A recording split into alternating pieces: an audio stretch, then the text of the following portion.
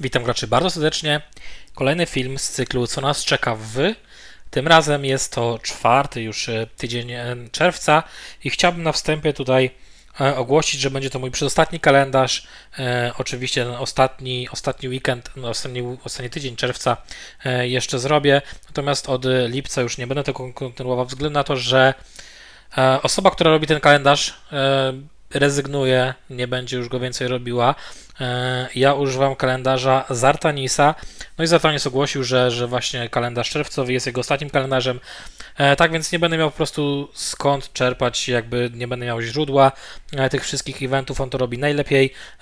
Bardzo, bardzo ładnie graficznie to wszystko przedstawia. Wszystko na bieżąco update'uje. E, Już i tak, już i tak e, SG robi po prostu co chwilę jakieś zmiany, co chwilę nowe karty, inne karty wyróżnia, co chwilę coś tam zmienia w kartach. E, W becie są inne testowane, inaczej wychodzą i tak dalej. Co chwilę jakieś tam nowe, wydarzenia są na ostatnią chwilę dodawane, więc Zartanis stara się to wszystko na bieżąco update'ować, e, ale, ale tak jak mówię, czasami nie nadąża, a skoro on nie nadąża, inni gracze, e, tym, no, inni gracze, którzy robią takie kalendarze, tym bardziej na tym nie nadążają, więc e, nie będę po prostu z czego czerpać informacji dla Was. Tak więc będzie to mój teraz przedostatni kalendarz, później jeszcze zrobimy ostatni tydzień, piąty tydzień czerwca, mm, no i lipca już nie będziemy, nie będziemy robić. Także tyle, jeśli chodzi o, o takie informacje e, organizacyjne, sprawy orga- organizacyjne. Mm, Teraz tak, co nas tutaj czeka? E, Zaczynamy sobie mm, tak naprawdę od, od turnieju. E, W tym tygodniu przyszłym będzie nas, bę- bę- będzie nas czekało tylko tak naprawdę mm, dwa, ewentualnie trzy fajne wydarzenia, na których warto losować. Reszta taka, taka mech. Ale dobra, zaczynamy od początku, e, czyli mamy turniej, czterogwiazdkowy turniej, każde kolory są dostępne i nie mamy tutaj leczenia, więc jak najbardziej pewnie kreskówki różnego rodzaju, jakaś liksiu kreskówkowa na pewno się e, sprawdzi i inne, e, inne kreskówki powinny tu być świetne również, natomiast oczywiście co kto chce sobie e, ustawi. Także tyle o turnieju, jest czwórkowy, szkoda, kolejny również będzie czwórkowy, również szkoda. Najbardziej lubię te piątkowe, no ale trudno. E, dobra, co mamy w poniedziałek? Zaczynamy od poniedziałku. Mamy mitycznego tana, jest to Hades, fioletowy Hades, fioletowy tytan, e, więc ja tego osobiście dobrze wiecie, że nie lubię. Nie można też losować żadnych kart, nagrody są też e, beznadziejne. Wiadomo, że na tę chwilę obecną liczą się kulki różnego rodzaju kolorowe, czy też alfy, e, artefakty ewentualnie, jakieś super talenty i tak dalej. Tego niestety nie dostajemy, dostajemy jakieś tylko e, materiały bitewne. E, Więc mityczny tytan w poniedziałek, fioletowy. Co mamy również w poniedziałek? Otóż Contest of Elements. Jest to, jest to niebieski Contest of Elements i będziemy tutaj mieli dwie karty wyróżnione. Pierwszą kartą będzie Jolt, czyli niedawna karta wyróżniona, która niedawno weszła do gry, bardzo szybka, dość fajna karta. E, I drugą kartą, jaką będziemy mieli, to będzie nowa karta i jest to Nylora. I teraz, co robi Nylora? E, Nylora to jest oczywiście elemental, więc będzie zamieniała sobie klocki na niebieskie. E, Jest to szybka karta, mnich, więc, więc fajna klasa, e, fajna szybkość mamy oczywiście. I karta sama w sobie co będzie robiła? Na początku będzie zamieniała cel w kolor czerwony, czyli nieważne w jaki cel uderzymy, ona go będzie zmieniała w kolor czerwony na trzy tury, dzięki czemu oczywiście klocki niebieskie będą, będą w tę kartę biły, biły mocniej. E, Do tego da temu celowi, na, na który narzuci ten efekt, minus 68% e, do defa przeciwko, e, przeciwko niebieskim, więc e, coś takiego jak ma na przykład Frida, czy Król Artur, czy Cynamon, e, powiedzmy, czyli obniżenie oczywiście od żywiołu. Będzie to, będzie to oczywiście mm, obniżenie od żywiołu niebieskiego i na samym końcu, czyli najpierw zamieni, później nałoży ten, ten debuff do obrony, będzie biła 550%. Jest to duży damage. E, Myślę, że jakieś 1500, nawet w sumie przy, takiej, przy takim defie to nawet e, przy, może z jakimś buffem, buffem do ataku, nie wiem co nam będzie miał na 90 levelu też, jeśli będzie miał jakiś buff do ataku, e, to myślę, że uderzy pod y, około 2000, jeśli oczywiście te wszystkie efekty wejdą, więc bardzo fajna karta, e, taki typowy, typowy snajper. E, przede wszystkim szybki snajper. Wiemy dobrze, że mamy Shavujinga, który bije równie potężnie, e, ale jest, e, jest średni. E, No i to samo mamy też takiego elfa fioletowego, który również jest Dreadstar chyba, e, który również jest średni. Tu mamy szybkiego snajpera, będzie bił bardzo mocno. E, biła w zasadzie, bo, bo to jest Nylora, ona. Fajna karta. Dodatkowo oczywiście będzie, będzie te mm, zamieniała te klocki na, na klocki klocki supermocy, więc one coś tam też będą biły. E, fajnie karta dobrze sparowana, myślę, że myślę, że może zrobić robotę e, z jakąś kreskówką, na przykład, nie wiem, Magni. E, Magni oczywiście też będzie bił więcej w te karty, bo ona będzie te karty zamieniała, mm, które trafi. Jakiś Richard kreskówkowy również będzie, będzie fajnie z nią sobie współgrał. Co ważne tutaj, oczywiście tu się nasuwa pytanie, czy ta karta będzie super na Tytany. Otóż nie, dostaliśmy, mm, czy nie, nie, no jako gracze w sumie można powiedzieć, że gracze dostaliśmy info, że ta karta nie będzie działała na tytany ani mityczne tytany, w sensie nie będzie po prostu zamieniała ich e, żywiołów na czerwony, na ogień. Więc tutaj takie, takie info od razu mówię. E, no i oprócz tego, jak to elementale, mamy, mamy wszystkie elementale do dyspozycji. Jedynym minusem elementali jest to, że nie ma tam e, kostiumów, e, więc jakiś Finlay jakby wpadł, to wiadomo, że bez kostiumu, ale dobrze wiemy, że na przykład Star Walker świetny, Timius również świetny. Nie wiem, czy już będzie Pop Hit, ale jeśli będzie, to również świetna karta. Obecnie tych niebieskich kart w mecie jest dość dużo, e, jakaś czanga chociażby e, też, więc myślę, że warto tu będzie losować, kto ma jakieś losy i kto potrzebuje oczywiście niebieską kartę, kto ma dużo teleskopów.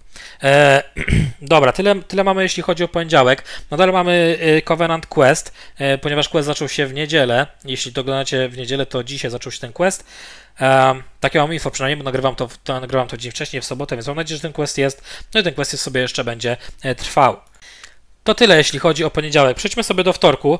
E, I we wtorek mamy nową rzecz. Oczywiście mamy nadal mitycznego tona, nadal mamy e, niebieskie elementale, ale co mamy? Mamy e, nowe, nowe wydarzenie. I jest to Solstice Summon, tak jest, czyli, czyli przesilenie letnie, e, takie wezwanie przesilenia letniego.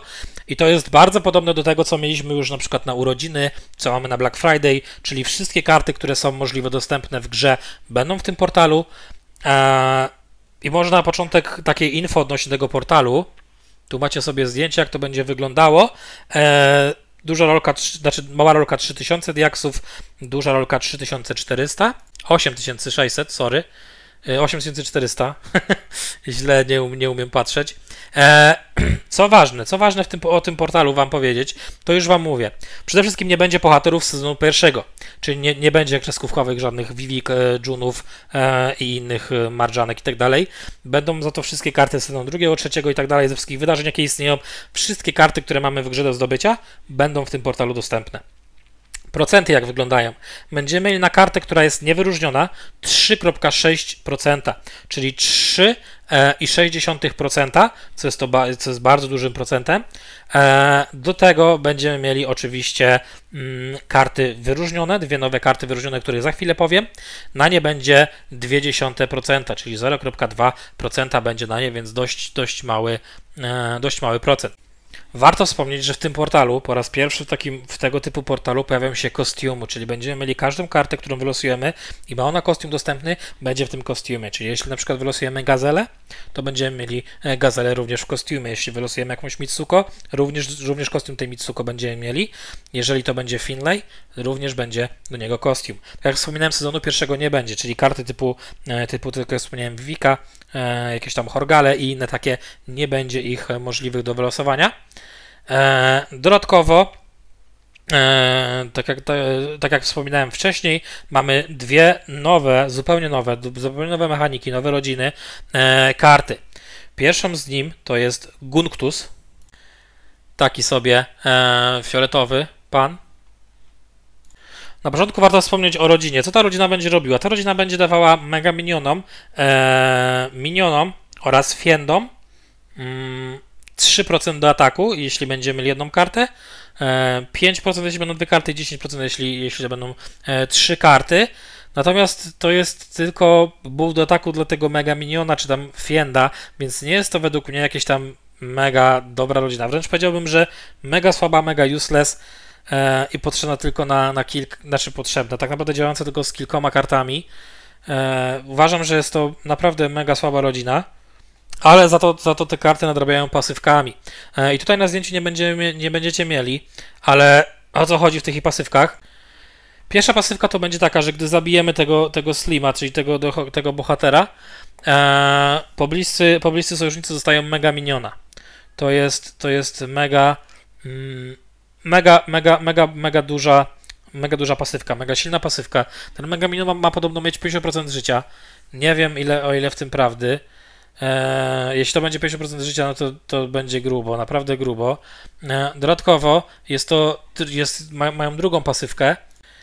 E, jeśli bijemy w tę kartę i damage zada mm, minimum 25% życia, czyli więcej niż 25% życia, wiadomo, że atak snajperami to będzie, to będzie, będzie samobójstwo w te karty. Na przykład takim Junem w kostiumie zadamy, zadamy w tę kartę więcej niż 25% życia. Oczywiście z reguły zadamy więcej, bo karta, która ma, nie wiem, będzie miała 3000 życia, e, no to tym, tym Junem uderzymy za 1800, więc to jest wiadomo, że więcej niż 25% tego zdrowia.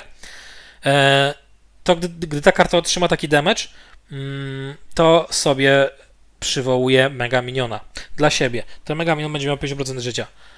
Więc mega, mega pasywki, dwie superanckie pasywki. To oczywiście nie wiem do końca jak to będzie działało, bo to mi się wydaje zbyt silne, ale zobaczymy. Zobaczymy, jak wyjdzie. Te karty są, ciągle testowane. E, zobaczymy już we wtorek, co nas tak naprawdę czeka. Mm, dobra, co robi sama ta karta w sobie? Otóż bije, bije ona 565% w cel, czyli taki snajperek. E, do tego daje sobie buff do ataku i ten buff wzrasta z każdą turą. Szkoda, że na początku nie, nie daje sobie tego, tego buffa do ataku, dopiero potem nie bije. E, no tak zrobili, że bije najpierw, dopiero potem sobie daje tego buffa do ataku. I co ważne, to jest oczywiście szybka mana. E, później co robi, e, co robi ta karta? Daje sobie taki, taki slime regen na siebie narzuca. E, jeśli mając na sobie ten taki slime regen, karta zginie, to jakby się wskrzesza. I takie coś mamy już e, jako zombie z Marii Teresy, czyli karta ma coś na sobie, mm, jeśli kartę zabijemy, to ona po prostu wskrzesza się w trochę w innej formie.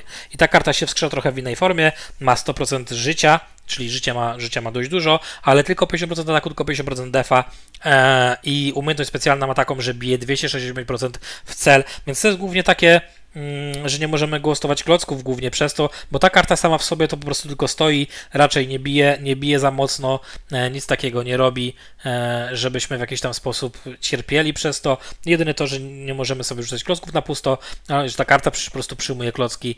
E, no tak to, tak to wygląda. Ale teraz uwaga, bo na końcu co jest napisane. Jeśli my nie zabijemy tego, tego potworka, który się wskrzesi, czyli nie zabijemy tego slima, e, który ma tam 100% życia i tego ataku troszkę mniej i tak dalej, to w ciągu trzech, w ciągu trzech tur, jeśli go nie zabijemy, mamy na to trzy tury, żeby go zabić. Jeśli tego nie zrobimy, to ta postać zamienia się w swoją oryginalną formę, czyli zamienia się e, z powrotem w tego Gunktusa.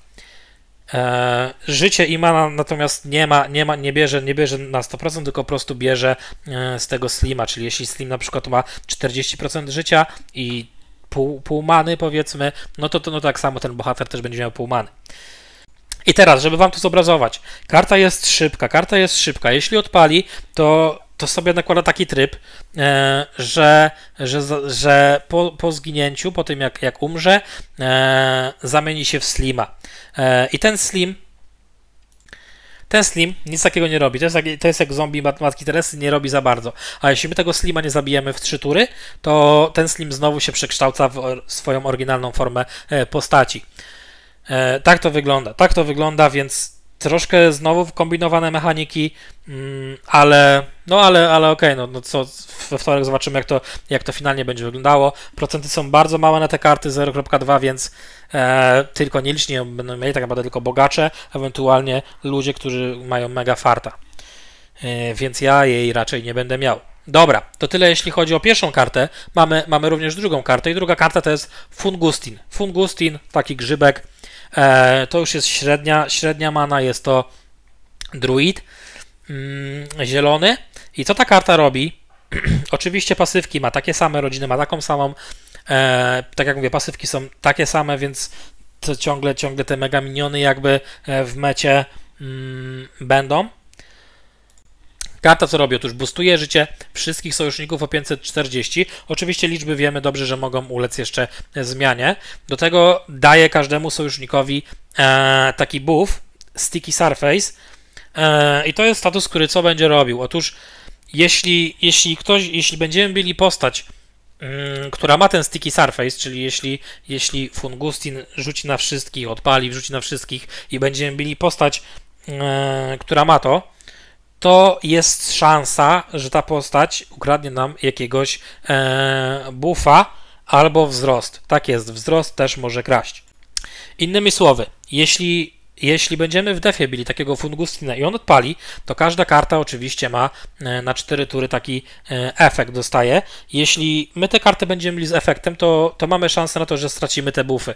Nie to, że stracimy, że ona zdispeluje, tylko po prostu, że e, ukradnie nam ukradną nam te buffy. Buffy nie tylko, bo również wzrost się liczy, czyli wzrost od ciemnopierza, e, od na przykład Pepper Flame i tak dalej. Więc jeśli na przykład mamy sobie już buff do ataku od Pepper Flame, no to po prostu nam może zostać e, wykradziony ten efekt. E, więc również, również fajna, fajna mechanika, ale to nie wszystko. Wszyscy, wszystkie mm, postacie są, nie można ich zdispelować więc to już znamy z jakiejś, nie wiem, Belladonna albo z Ukonana, czyli te, te wszystkie buffy, które, które mamy, zosta zostają e, nie do zdispelowania. E, no i jeszcze wszyscy zużyć zostają 40% defa. No, Powiem, że, że, mechanika świetna i trzeba będzie uważać, e, jeśli ta karta będzie stała w defie, trzeba będzie uważać naprawdę, kim na nią idziemy, bo wszystkie rodzaju buffy czy, czy właśnie wzrosty mogą, mogą nam zostać um, ukradnięte, a tego oczywiście byśmy nie chcieli. E, ale dobra, bo już się rozgadaliśmy za długo, dopiero mamy wtorek, ale na szczęście później się nic takiego nie dzieje. E, więc mamy te dwie karty wyróżnione, Fungustin, Gunctus. E, no i tak będą te karty wyglądały. Będą bardzo silne i oprócz tego oczywiście będą wszystkie inne karty do zdobycia na tym portalu, e, na tym przesileniu letnim, więc e, no to jest takie trochę kupowanie kota w worku. Można wpaść piątka, bo to jest 3% szans, 3,5 ponad procent szans, więc jest to bardzo duży procent, ale wiadomo, że można wpaść karta, której akurat nie potrzebujemy, czy kolor, którego nie potrzebujemy, bo nie mamy artefaktów i tak dalej. E, co więcej, będziemy mieli wymianę dusz, przyszły poniedziałek, to od razu Wam mówię o tym, że wymiana dusz przyszły poniedziałek, 24 czerwca, oficjalna data wymiany dusz. Kart jeszcze nie ma przecieku, nie ma. Myślę, że w tym tygodniu, który będzie, będziemy mieli jakieś przecieki, te cienie kart, które zawsze były. Myślę, że e, myślę, że to będzie. E, ale dobra, skupmy się na, na, na, obecnym tygodniu, czyli, czyli tygodniu czwartym. Mamy wtorek. Wtorek, e, tak jak mówię, ten Solstice, Solstice Summon się zaczyna. E, przechodzimy do środy. W środę, w środę wojna ze strzokami oczywiście. E, nadal mamy te sumony, które mieliśmy, mm, wezwania. Do tego mamy zadanie z księgą, jeśli ktoś potrzebuje księga, to będzie jak najbardziej. Mm, I próby, próby barbarzyńcy oraz wojownika. Tyle o środę. No i później mamy czwartek. W czwartek zaczynają się dwa wydarzenia. Pierwszym z nich to będzie Untold Tales, e, czyli, czyli te nieopowiedziane historie. I tu już znowu mamy, tak jak pamiętacie, ostatnio był kostiumowy Forcys, miała być też Persa, tej Persy nie ma. E, będzie tym razem Gestalt, Gestalt kostiumowy, czyli wow, mega sztos. Gestalt dla mnie jest jedną z lepszych kart z tego portalu. Dostaję teraz kostium, czyli będzie jeszcze silniejszy. Jakbym go wylosował, oczywiście bym go robił. Pewnie, znając gdzie nie wylosuję. Do tego będzie Galapago oraz Atlanteja. Takie trzy karty będą wyróżnione. Um, I co jeszcze mamy w czwartek? Mamy um, sezon czwarty. Um, Tremors of Underworld oczywiście. I tutaj mamy trzy wyróżnione karty. Będzie to kostiumowa lepiota która już oczywiście była nieraz mm, dostępna w grze, kostiumowy Flash Fog, również będzie oczywiście mm, ponownie dostępny oraz kostium do Zekeny będzie, będzie Zekena w kostiumie, e, jego chyba nie było, no tak jak mówię, tutaj to jest ten sezon czwarty, nie wiem czy tutaj ktoś losuje czy nie, ale będziemy mieli mistyczną wizję, może coś akurat wpadnie z tej wizji e, z losowania, kto chce tam sobie będzie mógł oczywiście losować, te trzy karty będą wyróżnione. E, I to tyle jeśli chodzi o czwartek, w piątek, e, w piątek mamy to co, to, co mieliśmy poprzednio oraz te super próby, super talenty, będzie tym razem super talent dla Sorcerera, czyli oczywiście czarodzieja. Chodzi o czarodzieja, będziemy sobie mogli zgarnąć 10 10 takich e, symboli. Co dalej? Co dalej? Dalej mamy sobotę. W sobotę mamy e, nic nowego nie mamy. Mamy tylko wojnę, która jest, e, którą jest Equalizer. Więc zaczynamy, zaczynamy dwie wojny, dwie wojny z wojennym wyrównaniem. Będzie ciekawie, na pewno tych kart coraz więcej doszło, coraz więcej portali było, żeby wylosować Starwalkera, czy jakiegoś Pophita, czy Pepper Flame, więc E, więc będzie, będzie grubo, pewnie to na tankach się będzie pojawiało. E, no i tyle, jeśli chodzi o sobotę. W niedzielę, e, w niedzielę mamy próby, próby kleryka oraz druida. Dodatkowo zaczyna się turniej znowu czterogwiazdkowy, tym razem bez niebieskiego z podbitym ulepszeniem. więc dwa turnieje pod rząd czterogwiazdkowe. a później kolejny będzie jeszcze trzygwiazdkowy, więc te pięciogwiazdkowe dopiero e, w lipcu może. No i tak to by wyglądało. Tak by wyglądał ten e, czwarty tydzień mm, czerwca. E, I szybko podsumowując, najważniejsze wydarzenia to jest mityczny Tytan oraz e, niebieskie elementale, które zaczynają się już od poniedziałku. Później we wtorek zaczyna się Solstice Tamon, czyli te przesilenie letnie. E, tam dwie nowe karty, oprócz tego wszystkie inne karty dostępne w grze, oprócz sezonu pierwszego. No i później czwartek, czwartek, czyli sezon czwarty oraz Untold Tales. To tyle, to tyle, jeśli chodzi o te wydarzenia w przyszłym tygodniu, e, tak w skrócie. E, I tak jak mówię, jest to kalendarz przedostatni. E, oczywiście za tydzień w niedzielę pojawi się już ostatni kalendarz na moim kanale. To będzie ostatni tydzień czerwca. Mm, no i tam również będzie oczywiście coś fajnego. Najważniejsze wydarzenie już w tym przyszłym tygodniu mogę Wam powiedzieć, że właśnie będzie ta wymiana dusz. Zobaczymy, co, co, co nam tutaj twórcy przygotują. Dużo osób czeka na to z niecierpliwością, ja również. Jestem ciekawy, czy tam będzie jakaś karta wata zrobienia, czy nie. Myślę, że, że może jakaś kreskówka się pojawić, aczkolwiek tutaj by nas trochę twórcy zaskoczyli, no ale zobaczymy, zobaczymy. E, jakieś, jakaś karta fajna mm, musi być, musi być. E, chciałbym, żeby ta wymiana dusz była naprawdę dobra, e, bo ostatnio tych kart z wymian dusz nie zrobiłem. Wziąłem tego Xiaoto ostatnio, ale też go nie zrobiłem. E, no więc tyle. E, dobrze, dobrze, to tyle, tyle by było ode mnie w takim razie. E, powodzenia w Waszych przyzwaniach. Myślę, że dużo osób będzie losowało na tym właśnie przesileniu letnim. E, zobaczymy już te grzyby w akcji. Ciekawe, jak, jak finalnie wyjdą. E, no i co? No i tyle ode mnie, widzowie. Tyle ode mnie. Trzymajcie się. Cześć.